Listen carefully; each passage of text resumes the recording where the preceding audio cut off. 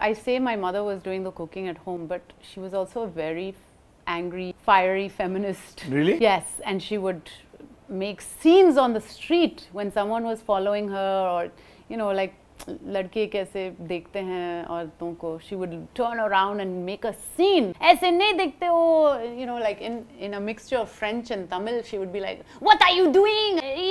No, no, no! This country, you know, you don't do this." And then, like, she would and I, I, would be so embarrassed. I'd be like, oh my God, mom, please stop. I wouldn't say she was a meek, like, housewife just because she was doing the cooking at home.